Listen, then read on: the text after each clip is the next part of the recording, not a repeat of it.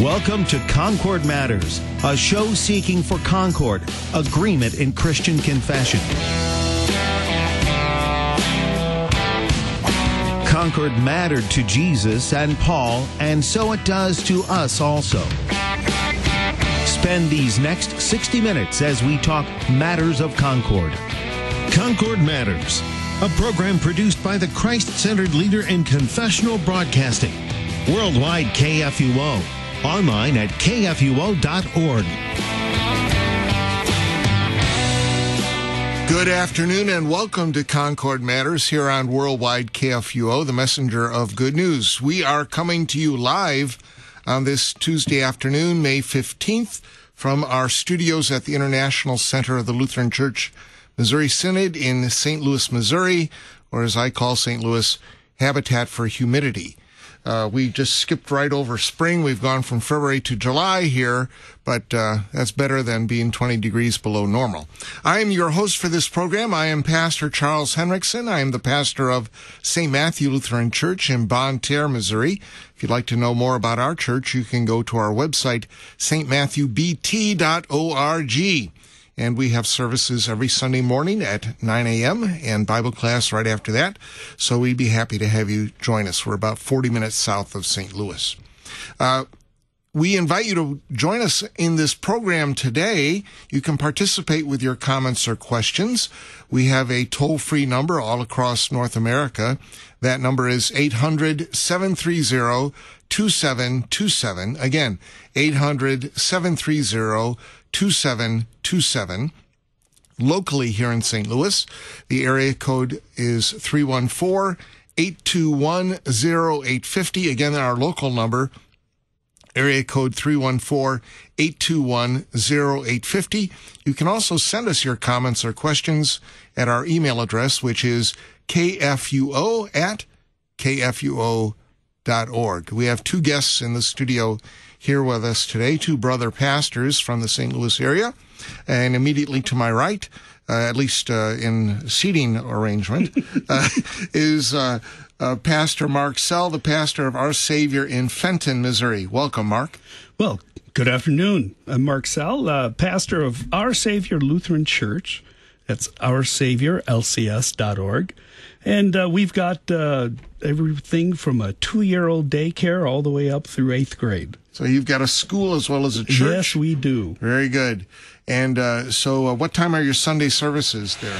Well, we have a Saturday night service at five, and then eight and ten thirty on Sunday mornings. Okay. We have a uh, Wednesday night Bible study that's taught by Doctor uh, Kevin Armbrust. Okay. And wonderful service, and of course, or wonderful Bible study. Quite, uh, quite a great teacher that man is, Mm-hmm. and he also teaches the Sunday morning Bible study. All right. And uh, Fenton is located in the southern uh, regions of St. Louis County. Yeah, south, southwest corner, so to speak, of St. Very Louis. good. Yep. All right. And then immediately to his right is Pastor Kevin Golden, the pastor of Village Lutheran Church in uh, Ladue, and he is the pastor of the Village People.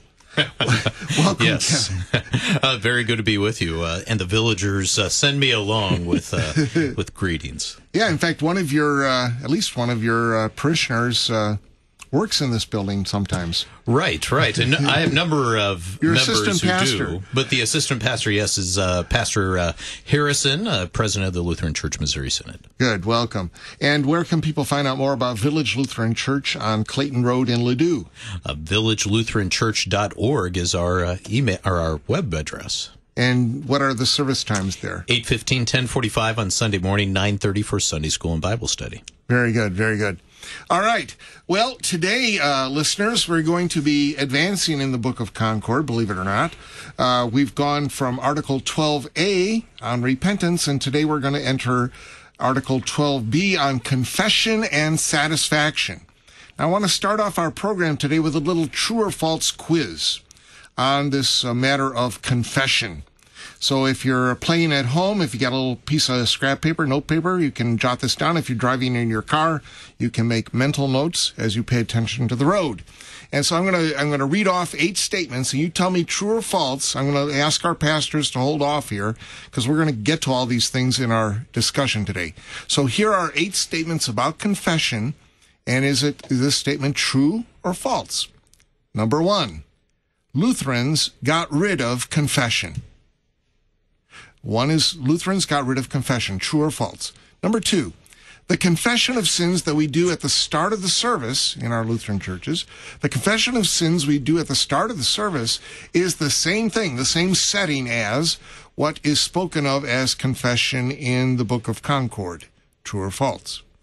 Number three, most LCMS church members have probably never gone to private confession. Number four, Can we at least laugh? uh, what do you? Well, we'll, Oh, no, we'll no, get go ahead. this. I'm I sorry want to read all eight, and then I I'm couldn't going to help ask myself, you. I'll ask you guys what you think about these. Okay. So uh, let me first read these. Um, number four: Pastors have the authority to forgive sins. Number five: Private confession is too Catholic, and thus is a bad thing. Number six: Private confession ought to be required of all church members. Number seven, you have to name all the sins you have committed in order to be forgiven. And number eight, you need to work off your sins by how you live and what you do after confession. Now I'm going to ask these boys here in the studio what they what they think about these true or false statements, and see if they uh, come to an agreement. Number one, Lutherans got rid of confession. Who wants to go first? I'll go, and I would say, no, that's false. We did not get rid of confession. Uh, we did strip it of the abuses and uh, things that have been glommed onto it, but confession is still very much a practice. All right. It's a biblical practice, so therefore it's our practice as well. All right, I agree with you. That statement is false. Lutherans did not get rid of confession. Number two, Pastor Sell. The confession of sins that we do at the start of the service is the same setting as what is spoken of in the Book of Concord. True or false? Uh, false. How so? Well, if if I remember correctly, it is the difference between private confession and public confession, the general confession. And what takes place at the beginning of the divine service is a general confession that we all kind of speak it together. So in that sense, we do continue with confession, but it is not uh, the understanding that was in practice, which would be the private confession and absolution. So when when the Book of Concord talks about confession, it is envisioning private confession. Correct. That's All what. I would say. Number three, Pastor Golden, or actually Pastor Sell, you wanted to laugh about this one, so I'll let you take this one. He's Most- laughing already. Most LCMS church members have probably never gone to private confession. I think that's true. I agree with you. I think that's true. And uh, Golden is nodding his Yeah, head yes. yeah, I think that's probably true. yeah. Unfortunate, it's tragic, but why Well, do you why do you think that's never why do you think that most LCMS church members have never gone to private confession? Well, this comes up in one of your later true or false questions, but I think some will say, well, that's a Catholic thing. Too Catholic. Yeah. Right. As a matter of fact, in our Utah circuit, we began private confession and absolution just for the clergy. And we had about 15, 16 uh, members of the Utah circuit. And there were only two people who participated in private and confession and absolution, and that was among the clergy. Yeah. And um, and I know I would talk about it quite a bit at my congregation, but boy, it was it It's was a, a ta- it can be a little taboo. scary. I think it can be a little Right. scary. And the first the, time, I believe it's rather scary. I think uh, after somebody, because I, I can certainly say individuals have said to me, Pastor, I've never done this before. This is kind of scary. And after they actually go through it, they'll say, that was actually quite beneficial. That was not scary. That Yeah. was liberating. But also, uh, it can be scary no matter how many times you've done it when you're recognizing you're facing the reality of your sin. Now, that fear is overcome by the absolution, uh, the peace that we have via Christ. But still, that can be intimidating. And, difficult. and as we have time, maybe at the end, we'll talk about why people are a little scared of it and what we can do to encourage private confession in a good way.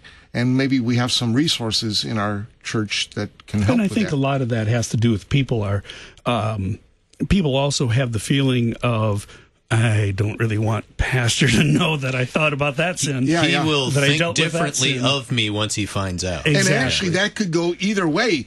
You might think, well, the pastor's going to have a negative view of me if I confess I had this lustful thought or whatever.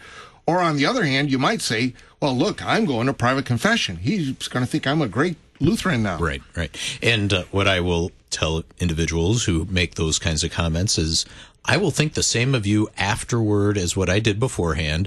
Beforehand, I knew you were a sinner, forgiven for the sake of Christ. And afterward, what do I know? You're a sinner, forgiven for the sake of Christ. And I also tell the people, my ears are a graveyard where those things are buried. I don't take them out of the confessional Correct. To affect my relationship with you. Yes. All rite. Number four, pastors, and I've gotten flack on this one from some visitors sometimes. Pastors have the authority to forgive sins. Yes. True or false? True. True. True. True. Golden. Yeah, and I especially love this. This is uh, a rather critical question within our right for private confession absolution. Is the pastor asks, "Do you believe that my forgiveness is Christ's forgiveness?" And the answer is yes. And that's a critical question because if all you're getting is Kevin's forgiveness, well, yeah, you know, that's kind of nice, but it doesn't do you any eternal good. It cannot bring you peace. It cannot uh, give any balm to a burdened conscience. It cannot set you free and cleanse you. But because I do speak Christ's forgiveness by his authority, now you have all that goodness. in the stead and by the command of my Lord Jesus Christ, I forgive you, the pastor says. Mm. Yes. All your sin. And, and you'll get visitors from, um, uh, more generic American Protestant churches who, I've even had this once or twice, come to me afterwards and say, how can you forgive sins? You can't forgive sins. Because Christ says so. Right. Exactly. Yeah, you know, uh, John 20 is one of our foundational Yeah. texts for this, where uh, the risen Christ appears to his uh, apostles and tells them this very thing: whatever you uh, forgive is forgiven; whatever you bind is bound. Yeah. Go ahead. Yeah, So- no, I, that was a common um, comment that would come from people, especially when they weren't familiar with Lutheranism or, you know, they were visiting and they didn't come from a, a strong setting, let's say, is that I still have problems with the pastor being able to forgive sins. Only God can forgive sins. And, uh, and it's amazing how often pastors have that quick conversation after church when someone says, only God can forgive sins. You can't forgive well, sins. that's and true, but he's help- authorized. Exactly. It's like if a king has an ambassador to act in his stead, Yes. the ambassador is fully authorized to act in the name of that king Yeah, and only God can create life. And how does He choose to do it? through human instruments. Through humans. Yeah, yeah, a mother and a father. And Yeah. so this is how He brings about life. Same also when He uh, gives life renewing absolution. Well, it's He uses a human instrument to It's do it. not to pump up the pastor; it's so that you can get Yeah. the forgiveness delivered to you and on on good authority, Right. literally. Oh, absolutely. Yeah. All right. Next question. Next true or false statement, and I think you probably can figure out the answer to this one. Private confession is too Catholic, and thus is a bad thing. True or false? Well, what do you mean by the word Catholic?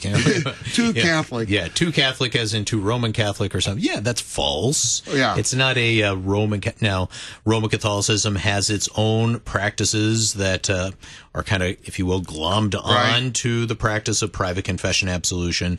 And that we have dispensed with, that we won't do. And so, well, I'm going to get ahead to a future question, but as far as no penance is going to Yeah, be yeah. assigned, et cetera. Yeah. It's interesting to uh, think through the culture of your congregation. Some of as the to- older folks that grew up with this, we can't be too Catholic, right? Oh, e- exactly. Um, so I know, you know, in a couple congregations here in the St. Louis area, just bringing back the chalice was a Catholic issue. Yes. Or chanting, or making the sign of the then- cross. right, Things that are not bad. They're actually good things. Yes.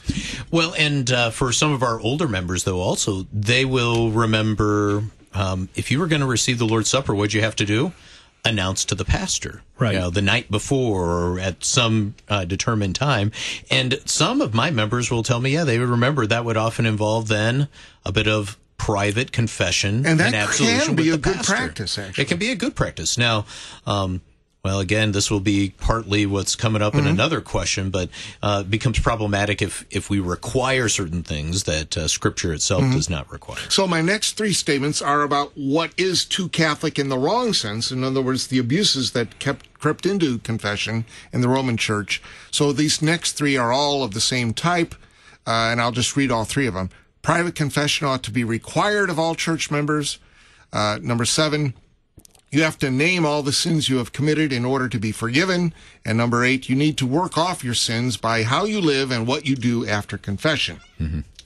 Those three obviously are all false. These are the three particular abuses that are corrected if you read the brief exhortation yes. and confession. Yes, and that's uh, in the brief exhortation to confession, written by Luther, often included as part of the large catechism, though technically it's not part of it.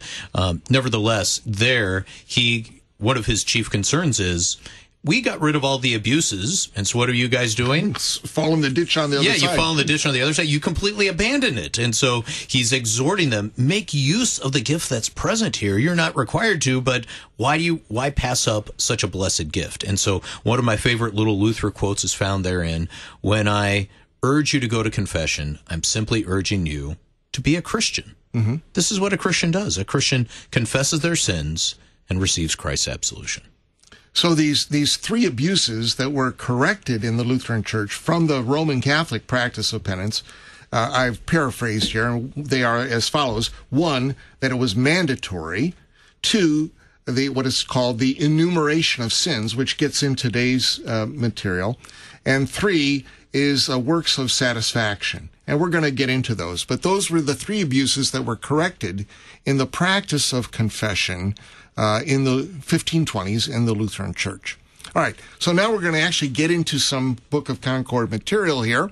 And uh, this is Article 12b, which is uh, can be seen just a continuation of 12a, which was on repentance. And um, uh, let me just start with uh, paragraph one here. We're using the Reader's Edition of the Book of Concord, Concordia, the Lutheran Confessions, and uh, Article 12b, Confession and Satisfaction. And I'll read paragraph one. Good people can easily conclude that it is very important that the true doctrine be preserved about the above mentioned parts, contrition and faith. Therefore, we have always been busier with making these topics clear and have argued nothing as yet about confession and satisfaction.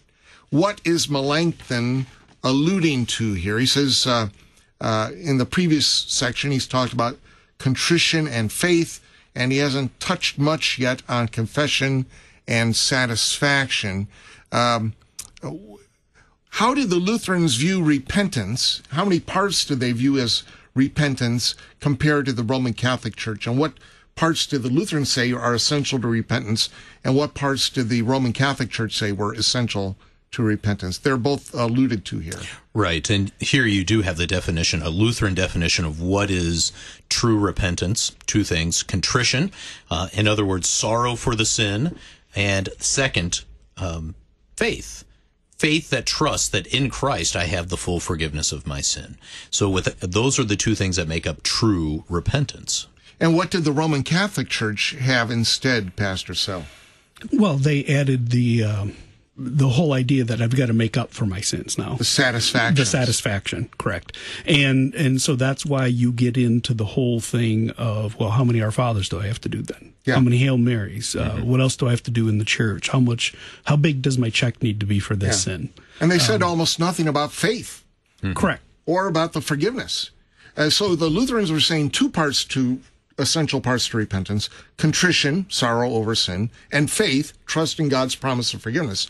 The Roman church was saying three things contrition, confession, and satisfaction.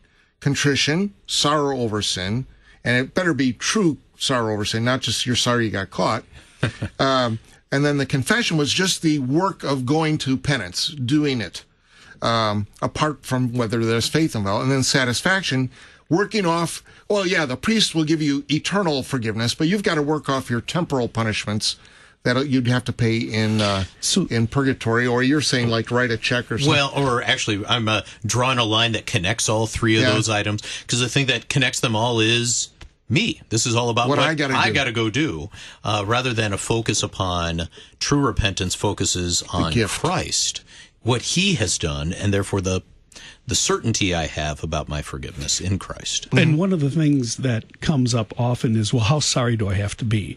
Um, I, I, state that crudely, but you could tell when someone's struggling with their sin, someone who's repentant also deals with, yeah, but how sorry do I have to be? Mm-hmm. How repentant do I have to be for this sin? I mean, no, this was a big one, Pastor. This was a big one, so I've got to be even more sorry for it. Mm-hmm. You know, how do we do? How would you guys answer a parishioner who comes to you with that kind of a kind of a thought in their head that I'm not sure I'm sorry enough? So, might I use an anecdote? By all means. And uh, you know, as Pastor uh, Her- uh, Henrickson said, we don't. Uh, you almost got elevated. Sorry. Yeah, Pastor Henrickson uh, mentioned that hey, when uh, sins are confessed to us, they go in the ear, and that becomes the grave, the tomb in which they are sealed, so they don't get aired. But I can air my own sins. So here we go. All right. So I, I will use this often in teaching on this point. That I recall in my life, I have been uh, other than I have an older brother. You know, brothers will fight and such. But mm-hmm. outside of my brother, I've only been in one physical altercation in my life. I was about 10 years old, and a neighborhood boy, we were playing baseball, a bunch of us kids, and uh, he insulted my mother. And so what did I do? Them's fighting words. Yes, them's fighting words. So uh, I got in my licks on him and such. He was also, um, yeah, he was one, I never really cared for him. He was a bit of a loudmouth yeah. and such. So when we got home, my brother was playing this game as well. When we got home, my brother ratted me out and told my mom that I'd been in this fight. And my mother, you know, I knew exactly she would not be happy with me. And so um, I told her I was sorry and such. And what I recall is this on one hand, I didn't feel bad, if you will, because I enjoyed getting my licks in on that kid. Uh, I didn't feel bad. But on the other hand, I knew that what I did was wrong. I knew that I had violated what my parents had taught me. I knew that I had violated what God uh, would call upon me to do in such a situation. I knew that it was sin. So I had sorrow that I had sinned. I confessed it as such.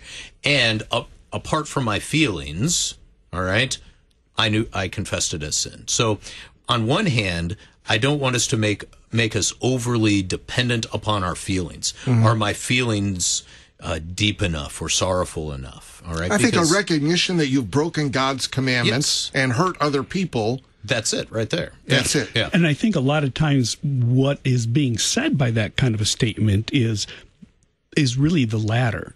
But I this concern about well, there really isn't forgiveness for this one, and and a lot of times I will then emphasize. I will even say this, which in the context will kind of make sense.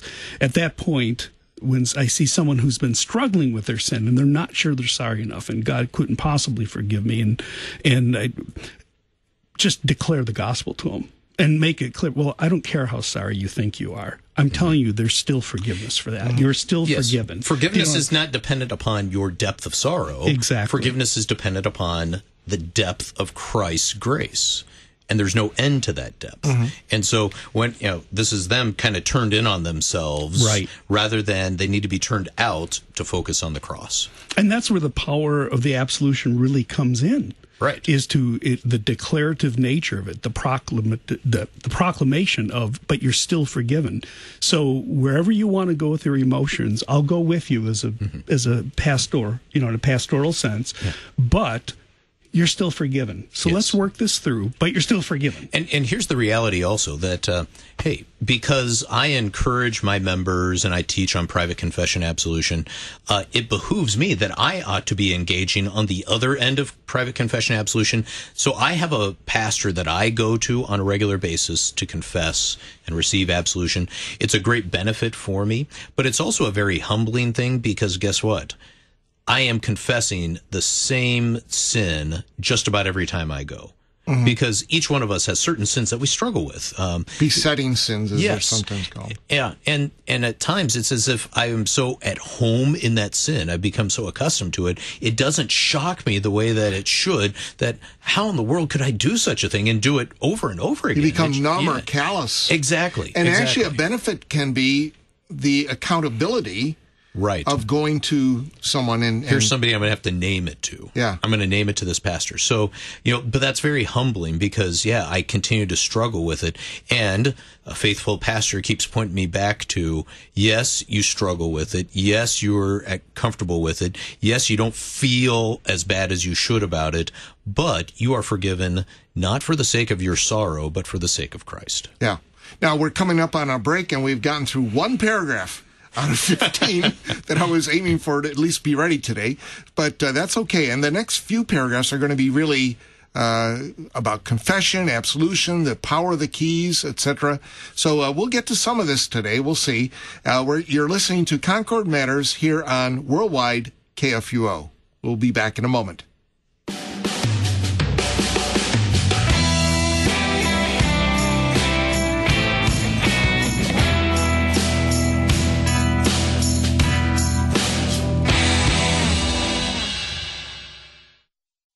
Three things make a believer oratio, meditatio, tentatio, prayer, meditation, and growth.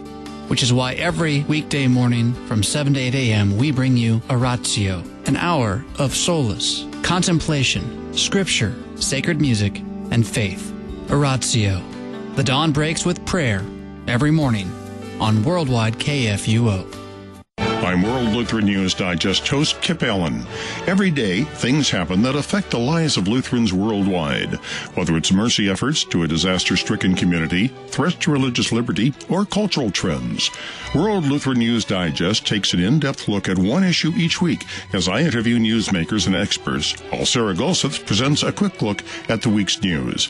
World Lutheran News Digest may be heard every Wednesday at 2.30 and Saturday at 9.30 on Worldwide KFUO. I was glad when they said to me, Let us go to the house of the Lord. Psalm 122, verse 1. Each weekday, the servants of God at the LCMS International Center gather together to receive the gifts of God in His Word. I invite you to join us weekdays 10 a.m. for a live broadcast of daily chapel services on KFUO, Christ for you anytime, anywhere. You hear our voices every day as we speak the gospel, share the latest news, or for insightful and sometimes entertaining talk. Why not share your voice with us and send us your feedback, suggestions, and questions? Leave your comment at 314-996-1542. Be sure to follow us on social media too, so you can like, comment, and share your favorite posts. Drop an email to kfuo at kfuo.org or send a snail mail letter to Worldwide KFUO, 1333 South Kirkwood Road, St. Louis, Missouri, 63122. Did you know that it was the state of Massachusetts in 1852 that inaugurated the first statewide compulsory school system? By 1918, every state had compulsory attendance laws with the idea that public schools provide a religiously neutral education for students. Horace Mann advocated for compulsory education as the first secretary of the Massachusetts Board of Education and is considered the father of American public education. His curriculum featured the Bible as a tool to teach moral character, Judeo Christian values, and responsible, virtuous citizenship. Mann also believed that the Bible should be taught without doctrine or theology. He said, our system allows it to do what it is allowed to do in no other system, to speak for itself. But here it stops. Brought to you by Museum of the Bible in Washington, D.C.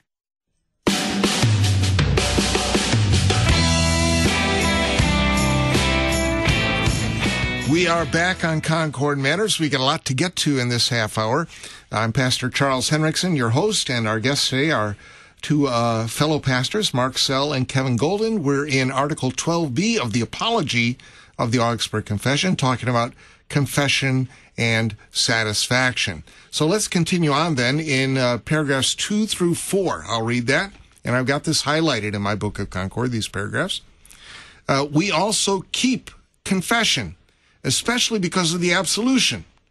Absolution is God's word, which, by divine authority, the power of the keys pronounces upon individuals. Therefore, it would be wicked to remove private absolution from the church. If anyone despises private absolution, he does not understand what the forgiveness of sins or the power of the keys is. I think this surprises some people. Don't you think that uh, when we say that Lutherans have retained private confession. I mean, it's in the book of, it's in the uh, Augsburg Confession. We retain private confession. Mm-hmm. And here they're saying we haven't gotten rid of it.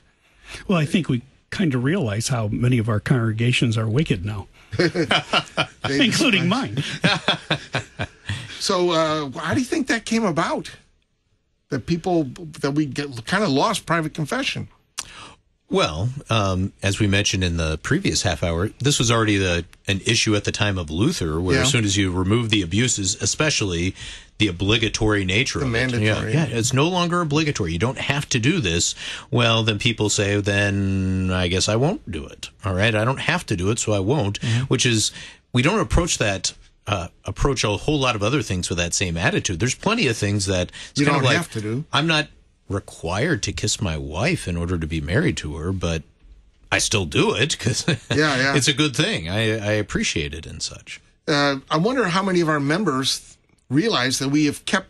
Maybe the thing is only if, like, you molested a child or committed murder that that those persons ought to go to private confession, but it doesn't have to be for something that grave or serious, Pastor Sell. Well, I, I think that's how people how people uh, have interpreted this in practice. In practice, when I hear private confession, it usually is something big. It's usually something big where someone will come in and I just have to talk about this. As I they'll say, slept they won't with even another talk- man's wife or something. Yeah, exactly. They won't they won't call it private confession absolution, but it's usually those big things that are really bothering them. And a lot of times it's because they remember from confirmation class the one thing that usually does stick out in their minds is there's a particular sin that's bothering you, go confess it to your pastor. Mm-hmm. So I think sometimes things like that has stuck with people, but it's not a regular practice of going to confession. And I think I think that we've gotten in, in our culture and in our church body too, we're not particularly bothered by our sins. Right. The run of the mill sins. Yeah. They don't particularly bother us as much as they ought to. And, and both of you are using kind of the key word bothers the person because that's what uh, sends us to private confession is even though I have confessed the general confession during the divine Mm-hmm. service, I've received the forgiveness of all my sin, there is still something that is burdening my Troubling conscience. It's troubling me. It's bothering me. And so this is why I go to private confession absolution so I can speak that sin, receive absolution for that specific sin, that my conscience might be set free and I can live with peace and with joy. Um, so part of the challenge is it's not really necessarily a huge sin, you know, in the way we define sin, uh, that needs to send me to confession. It's just whatever's troubling me. So maybe it's that I was, you know, just rather curt with my wife when I shouldn't have Mm-hmm. been. That is plenty reason if that's burdening my conscience. or if right? it's something that you habitually do that you know you shouldn't do. Right, right, and and then you hit on the the key thing is, uh, hey, we become so callous and accustomed to our sin that things don't trouble us that should trouble us. Or us. we, we just say, well, God's going to forgive, He forgives all my sins. And yeah. so therefore. then it's like a get out of jail free card. yeah. I think uh, I wonder how uh, how much the lack of preaching the second use of the law properly contributes to this. That uh, uh, what has always amazed me throughout my ministry is convincing, getting into discussions in the circuit or now here, especially with seminary students, convincing them you've got to condemn sin in your sermon Yes. Yeah. you know, well, I'm talking about the law. I'm not saying talk about the law. I'm saying no, condemn the people who are sitting, people who are sitting in your pews. Send them to hell. Yeah. Condemn them for their sin. Identify the sin, condemn it, and then forgive it. And there's such a reluctance to condemn sin. Because those people are going to pay your salary and vote on your salary. Exactly. exactly. Well, I want them, and and it's amazing because we all have this as pastors. Well, I do want my people to kind of like me, and if I call them out for their sin, they might not like me as much. Yeah. And I actually have people say that to me, and so I know it's, um, it, you know, every year when I'm going over the new new sermon that gets submitted to me, uh, every year, the first uh, have spent about two to two and a half hours with every SEM student and point out you had a chance to condemn sin here and you didn't. And I, I wish you'd change that. You hit the and they don't want again, to. Yeah, I know. I, I wish you'd change that. And and this long discussion has to take place. Well, you don't really have to condemn sins. And I'm like, why preach? Yeah. know? If we don't condemn sin, who will? Exactly. So there's this abandonment of the second use of the law in, in proclaiming, in preaching, mm-hmm. that gets lost. So want to run with the third use, always, all right? always. I want to make And them a also- better Christian. or be comfortable with the first use in the sense of let's condemn the world around us. Because we're rather comfortable if I'm putting the finger in the other guy's chest you can get a lot of attaboy pastor go get him pastor. But as soon as the you know the pastor is called to put the finger of the law directly into your chest Exactly. condemn you that's second use and yeah that that's And, uncomfortable. and, and I wonder how connected that is because then if you're not condemning sin on a regular basis in your sermons, then why is there a need for private confession and absolution anyway? Let alone, you know, the general confession and I think our, absolution is consci- watered our down. consciences have been dulled, Mm-hmm. um, so we don't feel the, our our sins as much as often as as we ought. Uh, let's move on here. He, he in this section here he mentions a couple of technical terms here: absolution and the power of the keys. Why don't you take one of those terms and one take the other? What is absolution? What is the power of the keys? Take Well, your the- turn. the power of the keys is uh, just take um, the thought of how you're going to get that through that door if it's locked. You need some keys to get through that door. So the power of the keys is the keys that unlock the door to salvation. And those keys are you have to be holy and perfect to get into heaven. Well, how do I do that? Forgiveness. You need the pure forgiveness that Christ has earned for you.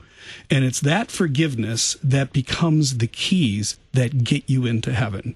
And so the power of the keys is to forgive sins. And then how does that forgiveness come to us? And then that leads us into the means of grace. The term, the power of the keys, sometimes uh, translated as the office of the keys. And Pastor Golden, we talk about the binding key and the loosing Yes. key. What is Yes. that? That's from the words of Jesus. Yep, this comes right out of Matthew 16, where Jesus talks about the, the keys of the kingdom. They bind and they loose. So the loosing is uh, this is a wonderful uh, description. What sin does is it clings to us, but in holy absolution, with the forgiveness of our sins, sin is loosed from us. It's gone. It's no longer clinging to us. But when our impenitence leads us to continue, uh, well, essentially to refuse Christ's gift of Defend ourselves. defend ourselves and such. That's essentially us telling Jesus, you can't have this sin. I'm keeping it for myself. And that's when uh, Christ has entrusted this authority to his church. And then the church in, on behalf, uh, then also uh, calls a pastor to do this. Your sins Is- are retained upon Yes, you. They're it's on bound you. upon you. So yeah, now you are burdened by that sin because you are impenitent, and that's this is the key thing is key repentance. thing. Very yes, good. the key thing. oh, da-dunch. Uh, so repentance. It is repentance that uh, allows the sin to be loosed. But impenitence, when I refuse to say, "Christ, you can have this sin, but I want to keep it for myself," now is why the sin is bound. Uh, sin is bound upon. So what we're aiming for is the loosing key. I Right. think I think of our sins kind of like if you saw like a Christmas Carol or something where there's this specter with these rattling, these chains, Chains, rattling yeah. on them, locked on them. So uh, to loose those chains from off your shoulder, the the chains of sin off from off your shoulders, and to be set free from that burden. That's what we're aiming for. Mm-hmm. Um, and so, how does that tie in? What is absolution, Pastor Sell? Well, it's the declaration of the forgiveness of sins. It's actually removing the sins from you by the proclamation. Uh, the absolution in the public context of the church service and the divine service, it's, as you noted earlier, that's where the pastor, in the stead and by the command of my Lord Jesus Christ, I forgive you all your sins. You're actually releasing the forgiveness of sins It's the from the authoritative and effective word of forgiveness. It does what it says it will do. And that's how the Lord does things. He always does it by His word. His word does what it says, so that everything from creation, let there be light, and there's light, uh, to, hey, the resurrection of Lazarus. How does uh, Lazarus come back to life? Come out. No CPR. It's just Jesus speaks the word and it happens. This is Jesus' words are living and active and do what they say. exactly. And so that's the same thing here. This is the Lord's word doing what it says. Very good. All right, let's try to get a little. Well, let fr- me ask further- one more go other ahead. question. So then, because this comes up with people, so then can are pastors the only one who could absolve? Publicly in the church, what would you say? Yeah. Uh, so this the authority to forgive for sins has been entrusted to the church. So the church as a whole has this authority. Uh, now, on a public setting, the church entrusts that entrusts that to the called pastor to do that. But in a private setting, any Christian can do it, so that. Um, Mark, when you go home and you tell your wife, "Oh boy, I was out of line doing X, Y, and Z," Mm-hmm. your uh, blessed wife can speak forgiveness to you, and it's Christ's forgiveness because she's a member of the church. So in a private setting, any Christian can do it. But also, there's great benefit to going to your pastor for that. Uh, a host of reasons. One of them is because he's called for that very reason. Um, uh, that's why he's been put into the pastoral office. Also, because one of the things that a pastor will do is, in order to help um, address the burden upon this person's conscience, is drawing from the Word of God to apply to that. So that here is the Word of God that comes to you and speaks of who you are because you have been forgiven in Christ, that you are a new creation, that your conscience is clean, etc. The pastor ought to be the most apt and and know the scriptures the best and Yeah. which scriptures Well, it's his job. apply. It's like a doctor. yes. A doctor may a, a layman may be able to help you with this or that injury, but a doctor has has gone years to know exactly what is the best treatment.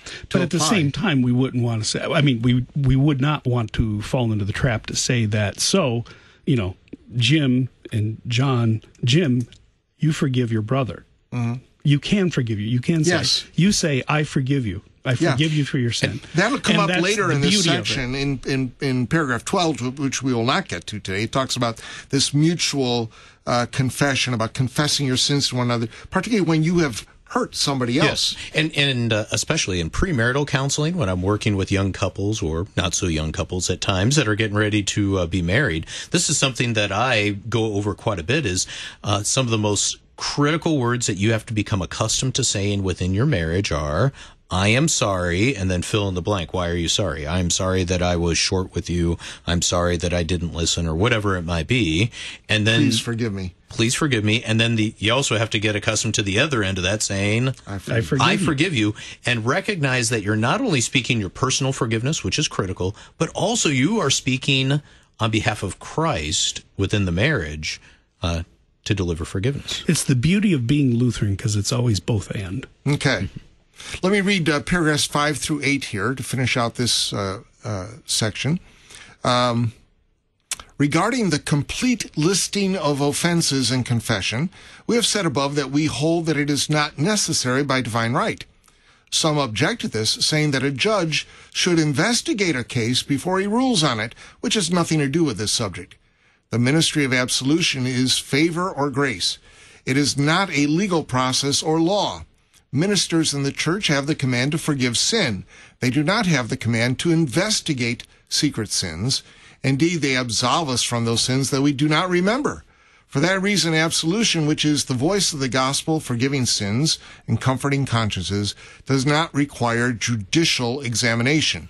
And the, let me just do uh, paragraph 9 because it's the same sort of thing here. Uh, it is ridiculous to apply to this discussion the saying of Solomon, know well the condition of your flocks, Proverbs 27, 23, for Solomon says nothing about confession. He gives to the father of a family a domestic precept that he should use what is his own and refrain from what is another's. Solomon commands the father to take good care of his own property, yet he should do so in such a way that, with his mind occupied with the increase of his resources, he should not cast away the fear of God or faith or care in God's word. But our adversaries, by a wonderful change, transform scripture passages to whatever meaning they please. Here, to know means to them hearing confession, means to them hearing confessions, the condition, not the outward life, but the secrets of conscience. And your flocks means people. The interpretation is truly neat and is worthy of these haters of pursuing eloquence. If anyone desires to transfer by analogy a precept from a father of a family to a pastor of a church, he should certainly interpret the condition as applying to the outward life. This comparison will be more consistent. All right. What this is getting at is a couple of things. Is uh, complete listing of offenses. What's wrong with a complete listing of offenses? Either one of you. On one hand, I can't list everything. I'm I'm oblivious to many of my sins. And so there's this wonderful statement in there back in paragraph 8. Indeed, pastors absolve us from those sins that we do not remember. All right. And uh, that's especially within the uh, general confession on Sunday morning, uh, where I just confess, hey, I, am a big sinful mess. I got a lot out there and such. Um, and this is where it is so wonderful that we do confess the omniscience of God, that God knows everything, including He knows all those sins of which I am ignorant. I didn't even notice them. I maybe I'm at a point where I am not yet well learned in Scripture enough to realize that was a sin by uh, in what I did. And but God knows, and He forgives me. so this that. is over against the Roman requirement of the complete enumeration, the Yes. complete listing of sins. You got to name them all for them to or be you forgiven. can't be sure. Yes. Now, Pastor Sell, is it wrong when you go to confession to list some offenses? No, of course not. Um, and you could list the offenses that are bothering you. Yeah. And identify those. Uh, and it's also helpful to think about so which commandments are I break, did I break? Which one does this break? Now, you're, What- you know. that's good. I'm glad you brought that up because he talks here about this complete examination, this uh, judicial examination, which the Roman priests were doing, this uh, sort of uh, litigi- legal investigation. Um, right. Which went too far because they were trying to probe your conscience. Um, well, I, but I- you can do a, a helpful examination, I think, and this comes up later. But at the there same time, you don't you don't want to turn the church into having torture. to. Uh, well, you don't you don't even want to have to give people the idea that well, you know, we're going to send the church police to your door, Yeah. and we're going to investigate just how you know how sinful you've been. Um, I know you're not living together, but did you spend the night over the weekend when you were, or when you guys went on a trip with your family? Where did you sleep? Uh, you know, you to get into. I'm not going to investigate your life. Right. Do you know what I mean? It's up to you to know and, and to repent of your sins and enumerate them on your own. And there is no role for church police in church. Right. But there will be times where pastor will ask some questions as part of the private confession. Sure. Uh, and that's usually occasioned by a, uh sense that what is being confessed here, there's something more behind that. Right. We need to get not, we don't want to stay with just this surface symptom. We need to get to the deeper diagnosis of what is actually uh, troubling the conscience so that that can be what is absolved. Otherwise, if all we deal with the surface, there isn't going to be actual lasting comfort and uh, cleansing of the conscience. So he com- it says here about what, where they were wrongly comparing the pastor to the father of a family or the shepherd of a flock. Is there a right way in which a pastor is like the father of a family? What he's saying is we don't probe secret con- secrets of conscience, but how should a pastor know his congregation like a father knows his family? I think it's um, I, I, this is the art of pastoral care. Uh, you know what I mean? Where you uh, you can't enumerate what a, a pastor has to do, but there's that fatherly wisdom and knowledge to kind of know where it might be going. To, as you, Kevin, just brought up, those moments where you heard someone confess, but you know there's a little bit more, so you follow up with some questions just to give them a chance to get it out. Uh, it's like when the kid comes home and, you know, they're half hour late, but it, being the half hour late wasn't really the problem. There's something else going on with your kid. Yeah. So I'm going to go beyond that. late. Right, Yeah. exactly. I'm going to go beyond that and talk to them about it. And that's the the the art of pastoral care, the fatherly art that comes in to try to probe and get a little bit of information so that you can be absolved, so that I could help you, so that we could talk about it. Yeah. Yeah. Anything else? Well, and this is why I would say um, pastors need to visit. You know, they need to know their members so that just like I need to know my biological children, um, so that I can then have a read on them. I can tell something's not right with this son or this daughter, and I need to see what's going on to help them through it. Hey, you need to know your flock, your congregation, because then you can kind of pick up this member is not in their isn't this isn't how they normally act and how they normally speak. Something's going on here. So you follow up with them and you may find out that hey there is a sin that's burdening them or you might find out that they're exceedingly worried because they just found out mom is got terminal cancer whatever it might be. All right. And it's amazing how many times when you get into the home and you let the conversation unfolds and, and unfold, and then the husband or a, a child starts talking about something, and then all of a sudden the picture kind of comes together, and Right. then you're more understanding to what this mother or this wife or this husband is going through, Mm-hmm. and and so you kind of uh, you're more careful with your words. Yeah. you know what I mean? Yes. Yep. Let me see if we can get through paragraphs 10 through 12 in the five minutes or so we have left. Paragraph 10. Let us skip such matters as these. Confession is mentioned at t- different times in the Psalms. I will confess my transgressions to the Lord, and you forgave the iniquity of my sin. Psalm 32, verse 5. Such confession of sin, which is made to God, is contrition itself. When confession is made to God, it must be made with the heart, not only with the voice, like actors on the stage. Confession is contrition, in which, feeling God's anger, we confess that God is justly angry and that he cannot be reconciled by our works. Yet we seek for mercy because of God's promise. Such is the following confession. Against you, you only have I sinned, so that you may be justified in your words and blameless in your judgment. Psalm 51 verse 4. This means, I confess that I am a sinner and have merited eternal wrath. Nor can I set my righteousnesses, my merits against your wrath. So I declare that you are just when you condemn and punish us. I declare that you are clear when hypocrites uh, judge you to be unjust in punishing them or in condemning the well deserving. Yes, our merits cannot satisfy your judgment.